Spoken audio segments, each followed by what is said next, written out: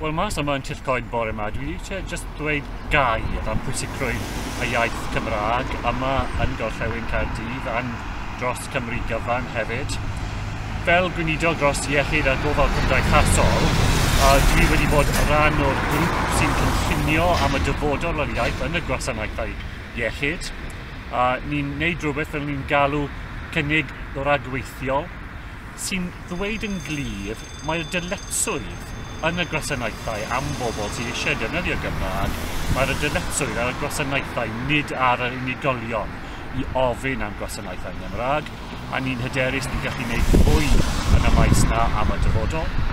Wel yma yn gorllewin Caerdydd, wrth gwrs, mae'r twf yn y galw am addysg o'r gyfrwng y iaith Gymraeg wedi tyfu dros y blynyddoedd. Dwi wedi bod yn lycus i bod rhan o'r y twf na, ges i y fraint i gydeirio y bwrdd llywodraethwyr o'r ysgol Tregana, pan oedd y ysgol na yn cael ei sefydlu.